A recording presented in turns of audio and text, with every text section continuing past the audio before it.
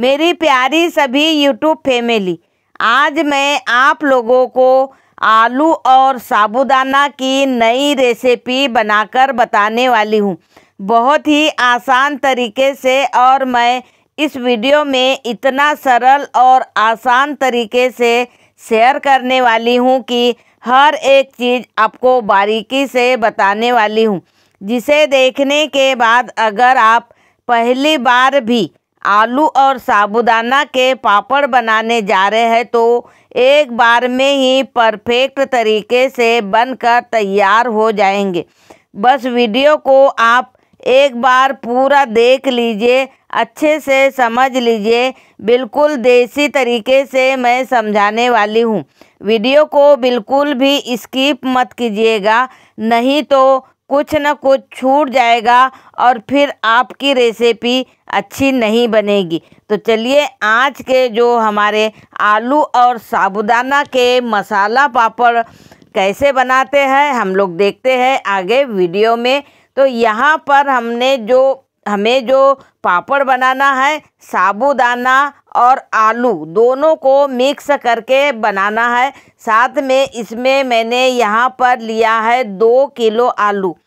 तीन आलू के, पाँच आलू के तो पापड़ हमने कई बार बनाकर ट्राई किए हैं मतलब देखे हैं, लेकिन आज हमें स्टोर करने के लिए पापड़ बनाना है तो हमें क्वांटिटी इसकी बढ़ाना होगा। तो यहाँ पर मैंने दो किलो आलू लिए हैं और एक गिलास लिया है साबुदाना। जो कि आलू और साबुदाना के हमें मिक्स करके पापड़ बनाना है, उसकी सारी प्रोसेस मैं इस वीडियो में शेयर करने वाली हूँ। तो दो किलो आलू में हमें एक गिलास साबुदाना डालना होगा। तो साबुदाने को सबसे पहले हमें एक कटोरे में डाल लेना है और कटोरे में डालने के बाद हमें इसमें पानी डाल देना है, लगभग आधा लीटर मतलब पूरा हमारा साबुदाना डूब जाना चाहिए और एक उंगली ऊपर हमारा पानी रहना चाहिए, ताकि फूलने के बाद में हमारा पानी पूरा सोख ले साबुदाना। तो इतना हमें पानी डाल देना है मतलब एक उंगली हमारी डूब जाना चाहिए, इतना पानी हमें डालना है और इसे हमें चार से पाँच घंटे के लिए साबुदाने को ढककर रख देना है। हम अब हमें एक कुकर लेना है और जो हमने आलू लिया है, आलू को सारे कुकर में डाल लेना है क्योंकि आज हमें उबाल, आलू उबाल कर हमें पापड़ बनाना है। तो कुकर में सारी आलू डालने के बाद में इसमें भी हमें पानी उतना ही डालना है जितना कि हमारी आलू पूरी डूब जाए। मतलब पूरी आलू हमारी पानी में डूब जाना चाहिए। इतना पानी हमें डाल देना है और उसके बाद हमें लगा देना है कुकर का ढक्कन। और ढक्कन लगाने के बाद में हमें इसे, इसकी तेज़ आँच पे तीन सीटी लगा देना है। बस तीन सीटी लगाने के बाद में हमें गैस बंद कर देना है और इसे ठंडा होने देना है। ठंडा होने के बाद में हमें इसे खोल लेना है कुकर को और कुकर को खोलने के बाद में एक दूसरा हमें कटोरा या कोई भी बर्तन हमें ले लेना है और जो हमने आलू इसमें उबाल कर रखी है, उसे हमें दूसरे कटोरे में निकाल लेना है। तो देखिए, हमारी आलू किस तरीके से उबल चुकी है मतलब पूरे इसके छिलके छोड़ दिए हैं आलू ने। तो हमें दूसरे कटोरे में निकाल लेना है और इसमें फिर हमें एक से डेढ़ या दो लीटर हमें दूसरा पानी ठंडा वाला डाल देना चाहिए, डाल देना है ताकि हमारी जो आलू गर्म है वो ठंडी हो जाए। और उसके बाद में हमें इसके सारे आलू के छिलके उतार लेना। दोस्तों, आप मेरे चैनल पर पहली बार आए तो चैनल को ज़रूर सब्सक्राइब कर लीजिए। क्योंकि ऐसी नई नई रेसिपी मैं डेली अपने चैनल पर अपलोड करते रहती हूँ, जिसका कि नोटिफिकेशन सबसे पहले आपको मिले। तो चलिए मतलब हमारी जो आलू है, सारी हमने यहाँ छील कर रेडी कर लिया है। अब उसके बाद में हम लोग देखते हैं कि हमने जो साबुदाना फुलाने डाला है, साबुदाना भी हमारा लगभग चार से पाँच घंटा हो चुका है और ये अच्छे से फूल चुका है। मतलब साबुदाना हमारा बहुत अच्छा फूलना चाहिए। बिल्कुल भी इसमें अंदर का जो कण रहता है कड़क वाला वो नहीं रहना चाहिए। मतलब बहुत अच्छे से फूल जाना चाहिए। जैसे ही उंगली पे लेते हैं हम लोग, फिसल जाना चाहिए। और उसके बाद हमें चलनी लेना है चलनी में सारे साबुदाने का पानी हमें छान लेना है। पानी छानने के बाद में हमें आलू और साबुदाने को दोनों को एक साथ में हमें कर देना है मिक्स।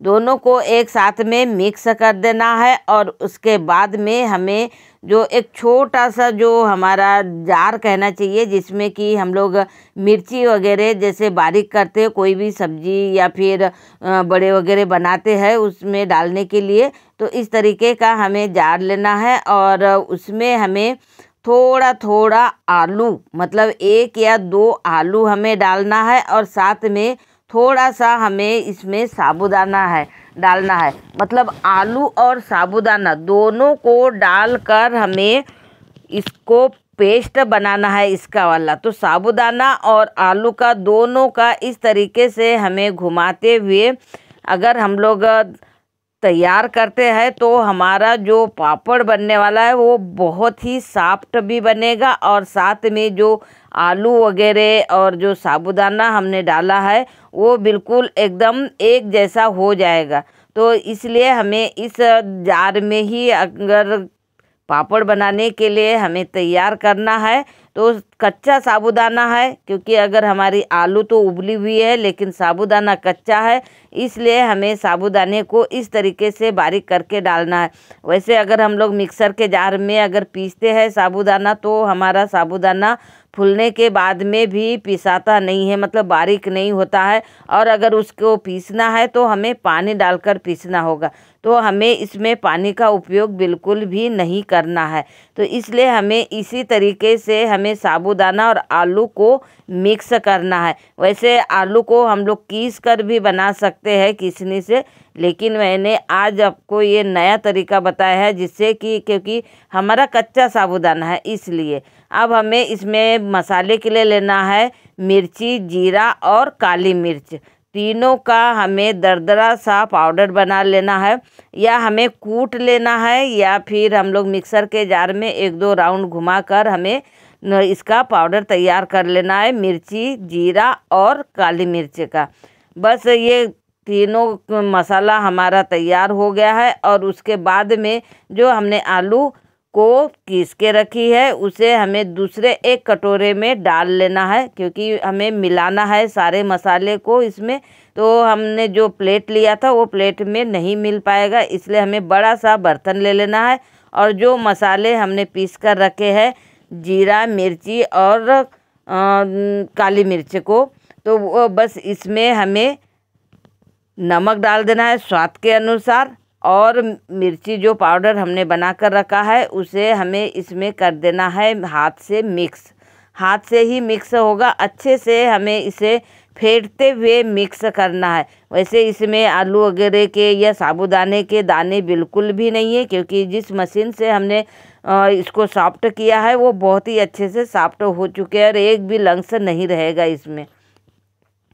अच्छे से मिक्स करने के बाद में थोड़ा थोड़ा हमें एक कटोरे में निकाल लेना है, ताकि जब भी हम लोग पापड़ बनाए तो हमारे हाथ गंदे ना हो। इसलिए हमें एक कटोरे में पहले ही निकाल कर इसे तैयार कर लेना है और इसे ढककर रख देना है। तब तक हम लोग दूसरी तैयारी कर लेते हैं। तो ये देखिए मैंने यहाँ निकाल कर रख दिया है, ढक दिया है। अब हमें इसमें पापड़ बनाने के लिए हमें प, एक पन्नी डालना है तो पन्नी को हमने यहाँ बिछा लिया है। पन्नी या चादर किसी पे भी आप डाल सकते हैं क्योंकि ये पापड़ बिल्कुल भी चिपकते नहीं हैं। तो बस हमने यहाँ पन्नी डाल लिया है। अब हमें लेना है पूड़ी बनाने वाली मशीन। मशीन से भी बना सकते हैं और बेल कर भी बना सकते हैं या फिर प्लेट से भी बना सकते हैं। जो भी आपको आसान लगे, उससे आप बना सकते हैं। मैं मशीन से बना रही हूँ, क्योंकि फटाफट जल्दी बनाना है मुझे, इसलिए। बस हमें एक दूध की पन्नी ले लेना है, जो कि आराम से हमें ये पन्नियाँ मिल ही जाती है। हल्का सा एक पापड़ बनाते तक हमें इसमें लगाना है तेल। तेल लगाना है, वैसे घी भी लगाते हैं, लेकिन ज़्यादा पापड़ अगर हमें बनाना है तो हमें घी का उपयोग करना है और ऐसे कम बनाना है तो हल्का सा एक बार तेल हमें लगाना है, क्योंकि अगर, क्योंकि तेल लगाने से हमें जो हमारे पापड़ रहते हैं, ज़्यादा लंबे समय तक हमें रखना होता है तो वो पापड़ हमारे ख़राब हो जाते हैं, इसलिए हमें बार बार तेल लगाने की ज़रूरत नहीं पड़ेगी, बस हमें एक ही बार पहला पापड़ निकालने के लिए हमें तेल लगाना पड़ेगा और उसके बाद में आसानी से हमारे पापड़ निकल कर यहाँ रेडी हो जाएँगे। क्योंकि पहला पापड़ जो कोई भी चीज़ रोटी हो या कोई भी चीज़ हो, पहली बार बनाते हैं तो थोड़े सी मतलब इधर उधर बन जाती है, इसी प्रकार से पापड़ का भी रहता है। और अगर आप चाहे तो दूसरी पन्नी का भी यूज़ कर सकते हैं, जैसे साड़ी वगैरह की जो हमारी पन्नियाँ आती है, उसे भी हमें गोल गोल काट लेना है और काटने के बाद में इसे भी हल्का सा हमें एक बार पहला पापड़ बनाने के लिए हमें तेल लगा लेना है और उसके बाद में इस तरीके से हमारा हाथ बिल्कुल भी नहीं गंदा होगा और ना ही लोई बनाने की हमें ज़रूरत है। बस चम्मच से डालना है, दबाना है और इस तरीके से हमें पतला सा पापड़ हमारा बनकर तैयार हो जाता है। और बिल्कुल टूटने का या फटने का बिल्कुल भी डर नहीं रहता है। कई बार होता है कि हम लोग आलू के पापड़ भी अगर बनाते हैं और अगर जैसे चुड़ा कर बना रहे हैं और अच्छे से नहीं चुड़ पा रहा है तो वो फट जाते हैं और फिर वो हमारे पापड़ हमें देखने में कहो या फिर खाने में कहो मज़ा नहीं आती है। इसलिए बिना टेंशन के उब, आलू उबाल कर साबुदाना डालकर बनाओ। परफेक्ट एक नंबर हमारा पापड़ बनकर तैयार होता है। तो बस इस तरीके से हमें आ, मतलब आ, मशीन से पापड़ दबा दबा कर डाल देना है। दो किलो के आलू के पापड़ बनाने के लिए हमें एक घंटे में हमारे पूरे पापड़ बनकर तैयार हो जाएँगे। बहुत जल्दी और आसान तरीके से बन जाते हैं। तो दोस्तों बहुत ही सिंपल सी रेसिपी थी मेरी आज की आलू की और साबुदाने की, पापड़ बनाने की, क्योंकि अक्सर करके ऐसे पापड़ हमारे टूटते नहीं हैं, फटते नहीं हैं और खाने में सबसे ज़्यादा टेस्ट लगते हैं। तो दोस्तों, अगर मेरी पस रेसिपी अगर आप लोगों को पसंद आई हो तो अपने दोस्तों को शेयर करना बिल्कुल भी ना भूलें, क्योंकि ऐसी रेसिपी बार बार हम लोगों को देखने को नहीं मिलती है। तो ये देखिए, हमने यहाँ पर चार घंटे के बाद में हमारे पूरे पापड़ यहाँ सूख कर रेडी हो गए और उसके बाद में मैंने दो घंटे की इसे धूप भी दिखा दी है। और अब हम लोग तल कर देखते हैं कि हमारे आज के पापड़ बने कैसे हैं।